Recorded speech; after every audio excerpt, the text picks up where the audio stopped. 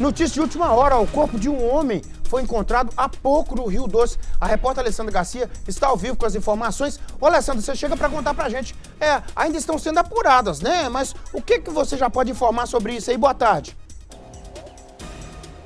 Boa tarde, Nico. Boa tarde para o pessoal que nos acompanha. Ô, Nico, a gente está aqui no exato momento em que esse resgate desse corpo acontece. Aqui no bairro Santa Terezinha, na rua São Luís. A gente está às margens do Rio Doce. Eu vou sair um pouquinho aqui do vídeo para o nosso repórter cinematográfico, Elton Cunha, mostrar. Olha lá.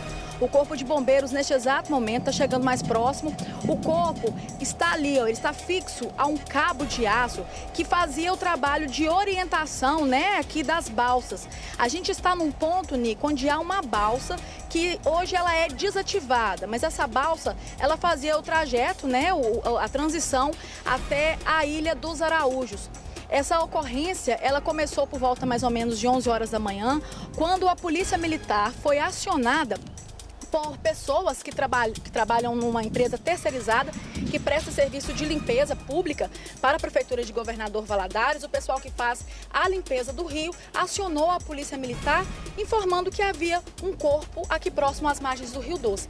E a gente está aqui com a tenente que está à frente dessa ocorrência, é a tenente Thaís de Castro Martins Moura, que ela vai dar essas primeiras informações para a gente do que, que tem apurado até agora. Obrigada, tenente, pela sua participação aqui conosco uma ótima tarde. Tenente, o que, que tem de informação até agora para a gente?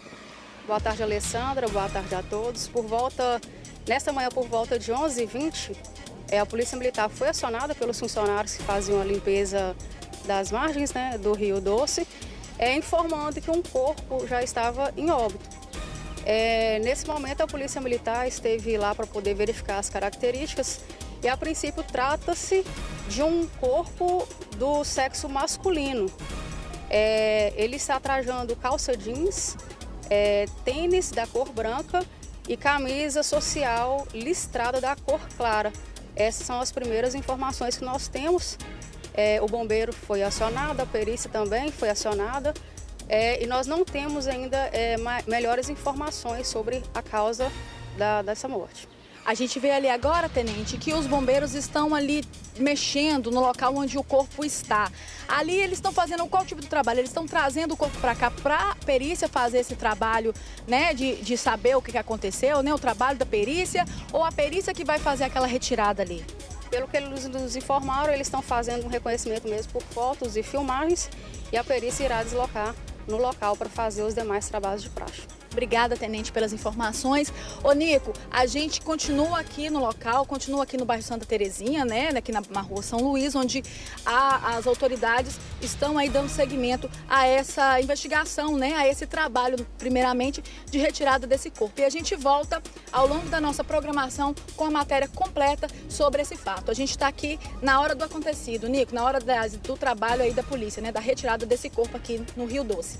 É com é, você no estúdio. É, parabéns a você aí que chegou rapidamente aí, né? Esse é o trabalho da equipe da TV Leste, jornalista dando show aí. É, a notícia não é boa, naturalmente, mas a gente está lá em cima dos fatos. Assim, qualquer novidade aí, viu, Alessandra?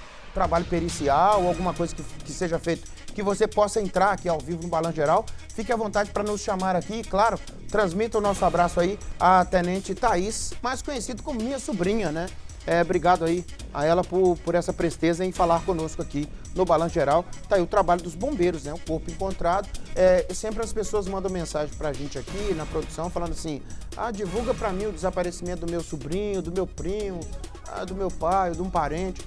E a gente as, acaba tendo que falar assim pro protocolo: olha, vê com a polícia, se, ou, ou aciona o SAMU, ou o IML, para saber se não tem. Mas assim, é tão triste falar isso com a pessoa, né?